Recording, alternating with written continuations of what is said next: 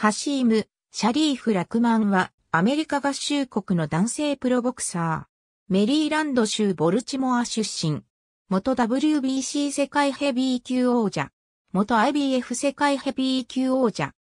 ボクシングを始めたのは比較的遅く20歳になってからだが、それ以前は麻薬や拳銃の不法所持で12回逮捕されたことや、麻薬の売人の用心棒をやっていた時代に5回銃撃された経験を持ち、自動車事故で生死をさまようなど破天荒な生き方をしてきた。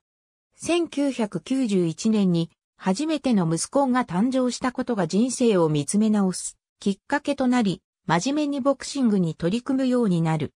後に当時のことを振り返り、あの時に変わっていなかったら、今頃はどこかの刑務所か墓場にいただろうと語っている。アマチュアで10戦ほど試合をこなし、2年後の1994年12月3日、22歳でプロデビューした。その後、前勝のまま1997年7月15日、空位のアズバ全米ヘビー級王座を獲得。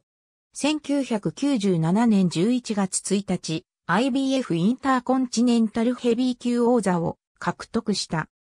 1998年12月19日、デビッド・トゥアに判定上では3から0とリードしていたのだが10回2分25秒 TKO 負けを喫し IBF 世界ヘビー級王座への挑戦権獲得に失敗。アズバ王座と IBF インターコンチネンタル王座から陥落した。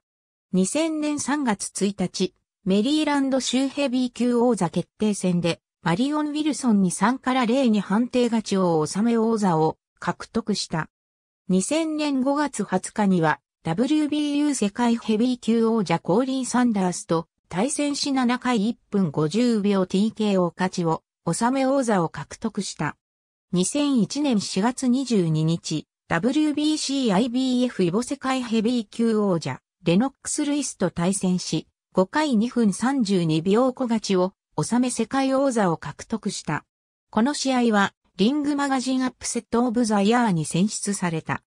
2001年11月17日のレノックス・ルイスとの再戦で4回1分29秒小負けで WBC 王座 IBF 並びにイボ王座から陥落した。この試合はリングマガジンノックアウトオブザイヤーに選出された。2003年12月13日 WBA 世界ヘビー級暫定王座決定戦でジョン・ルイスに判定で敗れた。この試合は8大タイトルマッチの一環として行われた。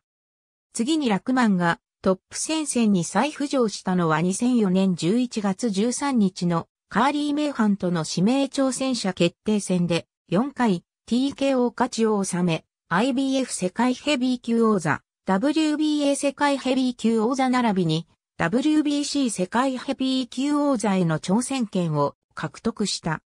WBC 世界ヘビー級王者ビタリ・クリチコが怪我のため、2005年8月13日に WBC 世界ヘビー級暫定王座決定戦が行われ、モンテバレットに3から0の判定勝ちを収め王座を獲得した。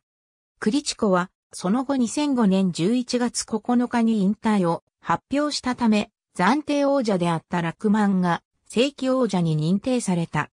2006年3月18日、初防衛戦でジェームズ・トニーと対戦し、1から0の判定ドローで初防衛に成功した。2006年8月12日、2度目の防衛戦でオレグ・マスカエフと対戦し、12回 TK を負けで王座から陥落した。暫定王座についてから陥落までちょうど1年だった。2008年7月16日、ナボ北米ヘビー級王座決定戦で、ジェームズ・トニーと再戦。3回に偶然のバッティングで左眉付近をカットし、ドクターストップによる TKO 負けとなったが、その後ノーコンテストと裁定が変更された。2008年12月13日、IBF-WBO イボ世界ヘビー級王者、ウラジミール・クリチコに挑戦したが、7回 TKO 負けを喫し IBF 王座並びにイボ王座に返り咲き、WBO 王座獲得に失敗した。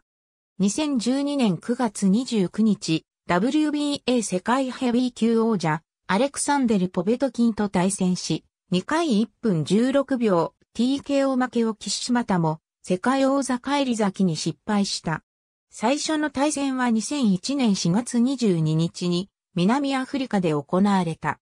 戦前予想は当時絶対王者的存在になりつつあったレノックス・ルイス有利であった。しかし、5ラウンド目にロープ際に詰まったルイスがラクマンの右フックを浴び失神してダウンした。この試合は衝撃の大盤狂わせと評価する声がある一方で、試合前のルイスの言動から彼は自信過剰になっており、準備不足のため当然の結果だと評価する声もあった。なお、この初戦の契約には、リターンマッチ条項が盛り込まれており、ルイスは即座にリターンマッチを申し込む。2戦目は11月17日にラスベガスで行われた。この試合では、ルイスの準備は万全のようであり、全く隙がなく、得意の左ジャブを初回から多用し、ラクマンを懐に入れずに終始ペースを握った。そして4ラウンド目に必殺の右ストレートを打ち込むと、今度は、ラクマンがリング中央で失神化された。